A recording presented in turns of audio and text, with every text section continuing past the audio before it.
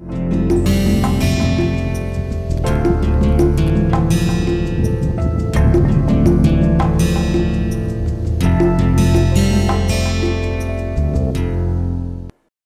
viewers, welcome to MOOC's online course on Visual Perception and Art, a survey across the cultures. This is the 12th lecture in this course and today we shall be looking at not any particular tradition or culture, but two particular art terms called mimetic and non-mimetic across the globe of course. Now, mimetic and non-mimetic are two terms that uh, refer to two different kinds of visualization. Generally speaking, mimetic art is that kind of art, be it painting or sculpture, where the reference to the real world is very strong. I mean all arts generally speaking unless it is a purely abstract painting the reference to the real world, the reference to the natural world is usually there. It is just a matter of degree that in some cases the reference is very strong and in certain cases the reference is not so strong, but the reference is always there.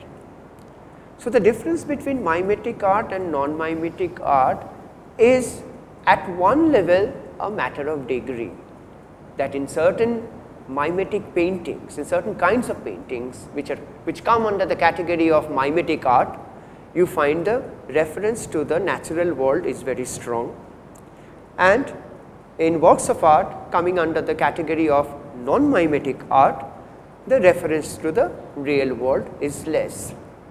But that is only one aspect and that does not really explain this uh, two uh, terms or categories properly because in mimetic art it is not just a matter of reference that makes a mimetic art a mimetic art because the reference to the real world is there in both the cases both mimetic and non-mimetic. So, what uh, discriminates mimetic art from non-mimetic art is not merely the reference, but actually the approach of visualization. I mean the visual technique or method that you are applying. For example, in mimetic art, the artist generally applies a certain technique or visual language which uh, kind of enables him to follow nature as faithfully as possible.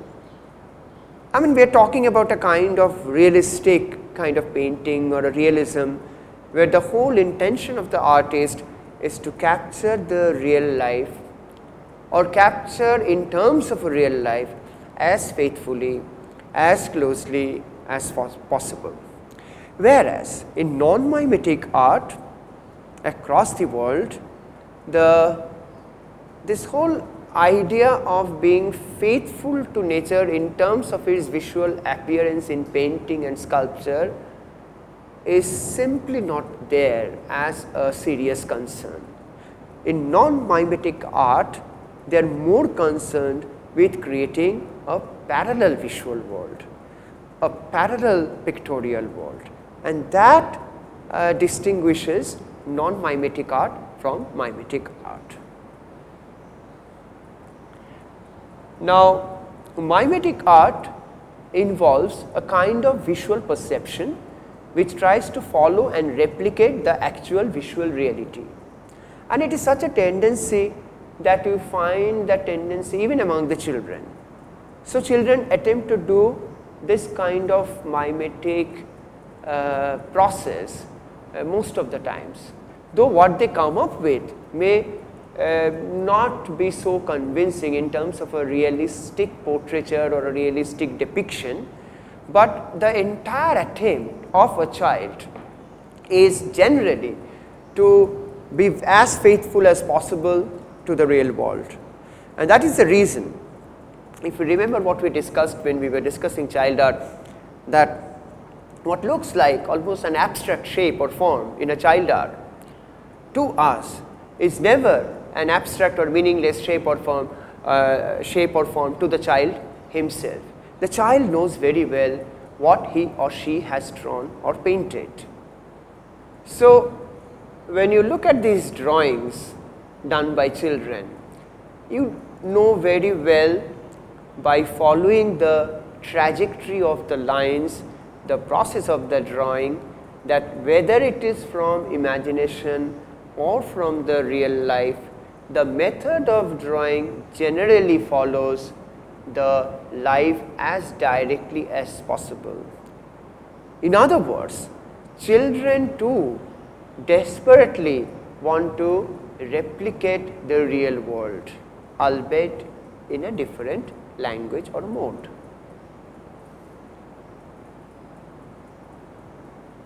So, the idea of mimesis that art is supposed to be an imitation of life is there almost in every child, but the outcome is different.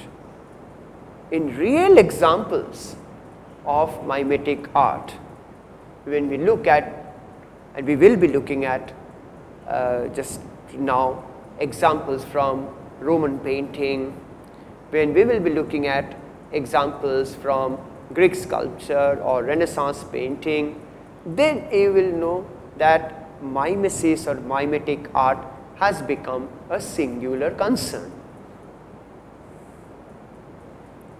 So, in case of children then at the end of their process, you may also say that though they try to make a mimetic art, they try to mime or imitate the visual reality or the nature around, they end up with something that is not purely mimetic and it is true that they end up with something that is not purely mimetic due to several reasons.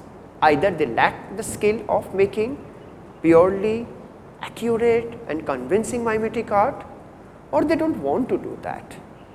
But there is an element of mimesis within the process, inherent in the process itself. And a similar kind of mimesis can also be found in folk art, but to a lesser degree in many cases. Like this, this form resembles a fish also, but the tail uh, kind of transforms itself into a tree branch with lot of foliage. Then the fins do not look very convincingly like fins and the body of the fish which is supposed to be full of scales here is full of decorations and designs. Really speaking, this particular example of folk art is not mimetic at all in any sense this any kind of resemblance of fish with the form that you see is only a very far stretched and a remote reference. As the painting itself suggests, there is no intention on part of the painter to make the form look like a fish. Rather, the intention is to make the fish or this creature look like a composite being which uh, is uh, which does not belong to any fixed category. It is neither fish nor tree nothing, but it is both. Now, when you come across this kind of examples of course, then you know that you are slowly moving away from mimetic art and you are entering into the world of non-mimetic art. Now, look at this one. This is an example of a Bengal Patochitra or scroll painting from Bengal and the subject is the demolition of uh, World Trade Center when it was attacked on plane by Osama bin Laden way back many years back. Now, how this folk painter is trying to depict that, how he is drawing the aeroplanes, why aeroplanes also have heads of uh, people or maybe they are beheaded people. I mean there are a lot of stories inside this painting of course, but I am talking about the visual configuration that this painter is trying to arrive at which uh, has a desperation to be as faithful as possible, but not visually, conceptually. Conceptually faithful to the event, to that tragic incident. And when a Patua from a similar tradition is painting a scene from a mythology, of course, that Patua or painter does not have any responsibility of uh, making his figures look as if they are from the real world. For example, this huge black figure is a mythological demon and he exercises all his freedom to be as non-mimetic as possible. So, non-mimesis also gives you an opportunity of freedom to imagine or build up an imagination maybe based on a mythology, maybe based on a given story, but it allows you to build up a visual imagination more strongly because you are free from any real life references and that is very important for non-mimetic art. Even in folk terracotta sculpture like this, the reference to a real animal is there because of the white pair of teeth, because of the trunk, you can make out that this is a figure of an elephant, but again the long neck refers to the horse. Maybe it is a composite creature having characteristic features of both the elephant and horse, we do not know, but the point is that up to a point the reference was there uh, very strongly in the mind of the uh, person, the artist who was making it, but then he left these references behind and he plunged into uh, wild imaginations. So, mimesis strictly speaking does not work in folk art. It also stops working in child art after a point. And in these cases, the reference uh, is there to a mother and a child, but it just stops there. Rest that is the visual form, the configuration, the look, the eyes, the posture, everything is a visual imagination rather a visual imitation. So, in other words, if you want to uh, identify mimetic art as visual imitation, then you can safely say that non-mimetic art is visual imagination. Now, this is not a very watertight compartment distinction because visual imitation may entail imagination and visual imagination also on certain occasions may entail visual imitations. But predominantly mimetic art is based on an imitative visual language whereas non-mimetic art like this one is based on an imaginative or imaginary pictorial language. beside folk art, in the entire tradition of Indian miniature painting also, the visual language that is employed is fundamentally based on non-mimetic art language or non-mimetic art idiom, where the where there is no compulsion on part of the painter to be very faithful to nature or life in terms of rendering objects so, one can use one's imagination like exaggeration, distortion, extension of limbs and features without bothering about whether it is matching with the real life or not. Then of course, in this kind of paintings like this one, there are occasions when the painter has to paint a dragon or a mythical animal and then there is no question of mimesis altogether because there is no dragon in real life. Whom are you to imitate? So, you imagine a dragon and this imagination is highly possible in this kind of non-mimetic art. And this kind of non-mimetic paintings like this one in the pre-Mughal paintings, you look at these paintings carefully, you also look at very early examples of Persian paintings like this one.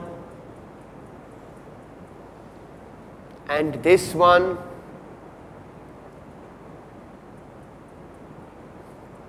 And this one. And I am sure by now you have been able to notice something. You know what? That is non-mimetic art beside uh, allowing the artist to imagine visual forms in uh, most wildly, it also allows the artists to play with the space. The space concept in these non-mimetic paintings do not bother about the realistic space idea.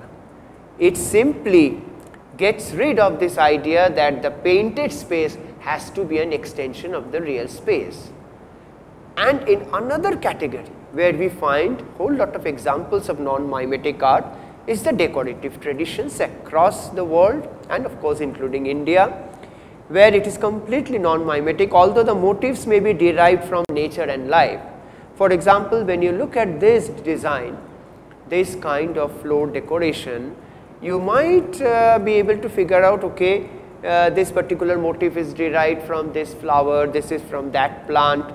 But then ultimately when you look at the design, when you look at this huge floor decoration in front of a rural hut like this one, what you see is a non-mimetic decoration. Why non-mimetic?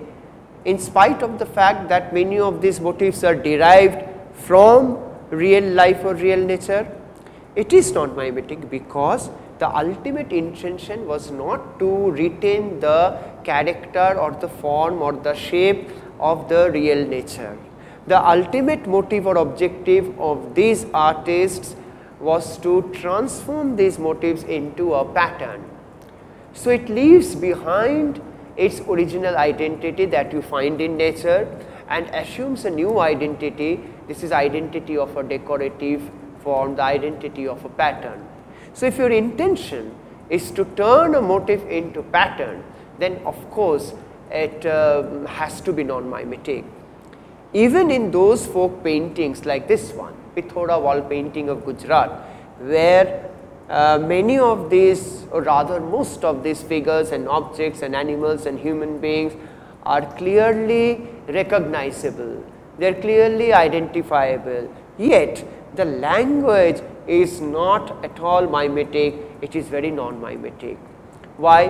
Because the painter or the painters, because this is a collectively painted composition on the wall, they do not try at all, they do not bother to try at all to convey this idea that all the figures painted here have a very convincing reality as you find them in real nature. Their intention is rather different to give you a sense of a world where all these motifs reside together, a conceptual world, a religious world, a cultural space. Similarly, in this Madhubani painting by the famous painter Ganga Devi, you find that though the subject matter is uh, pretty uh, not realistic of course, not even naturalistic, but pretty recognizable let us say. It has a very obvious narrative content, but the style of painting the style of representation is very non-mimetic. It, it, it, it uh, mm, kind of uh, adopts a style that is uh, independent and that is uh, self-referent.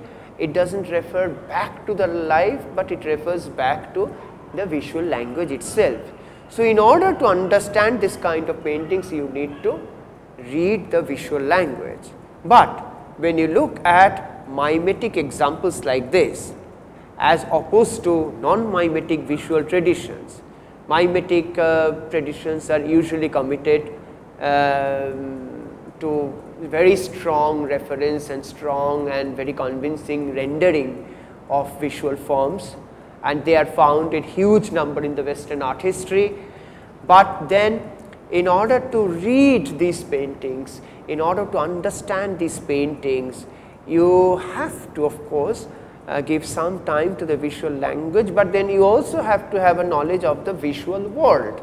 I mean how does actually a space um, uh, exist in the real world and how the painter makes it exist in this pictorial world. Hence, in mimetic tradition, you find certain uh, principles of realistic art being employed which we shall discuss later. For example, perspective, the laws and principles of perspective, then the laws of uh, gradually receding space, gradually receding size or scale of human beings, so on and so forth. Now, that creates a sense of space which almost looks like an extension of a real space. In non-mimetic art, nobody tries to create a space which might look like an extension of the real space. It is a different space, altogether different from the space that you are inhabiting right now. Hence, even in this kind of paintings of a landscape like and also a townscape you can say, a seashore with boats and with distant buildings, it is possible for a mimetic artist to go to the utmost details and create space. So, it is not just about the forms featuring in a painting, it is about the space that you are creating. It is also about the character of the space. Do you want the space in the painting appear as if it is an extension of the real space? Do you want to, in other words, create a sense of depth in your space? Then please follow certain principles of mimetic tradition. But if you want your painting to look like as if it is a separate world, separate from your own world in terms of space, then follow the non-mimetic tradition where artists do not bother to apply the rules of perspective and all that. And that is how in mimetic traditions usually you get an incredible sense of space and in non-mimetic traditions generally speaking you get a whole lot of possibilities to imagine, to exercise any amount of imagination because the space does not have a restricted notion with reference to the real space. It is a mental space, it is a conceptual space in non-mimetic tradition, whereas in mimetic tradition like this, it is an extended space. So, the body that you see human body with full flesh and volume and perspective is also an extension, a tangible extension of the real human body. But interestingly, in mimetic traditions, what you finally create is not a real life of course, but an illusion of real life. Whereas in non-mimetic tradition, nobody creates an illusion of real life because right at the outset, you know when you are looking at a non-mimetic art that you are looking at a different pictorial or a visual world. But when you are looking at a mimetic art, you have this feeling that these figures, this space is almost look like an extension of your space. But the surface on which it has been painted is obviously flat, either a flat wall or a flat canvas or a flat paper. So, literally speaking there is no extension of space. Literally speaking there is no depth of space. What is created generally in mimetic tradition is an illusion of space, an illusion of three dimensionality, an illusion of surface, texture and tactile feeling like this one. So, to achieve the best qualities of mimetic traditions, the artists requires to hone the appropriate skills to depict the objects and figures in exact details like this one. You almost feel like that you can go and touch the robe, you can touch the drapery, you can touch the cloth, you can touch the skin. And if you touch the skin you will get that kind of tactile feeling. But that is absolutely wrong. I mean you can't do that, it's a canvas painting, it's just an oil paint. So using canvas as a surface and oil paint as your medium and using certain techniques of painting you create uh, a very convincing realism which uh, forms a very important part of mimetic art. Even in the era of modern art, the mimetic tradition continues, but in new styles and new techniques and with more emphasis on the technical and expressive aspects.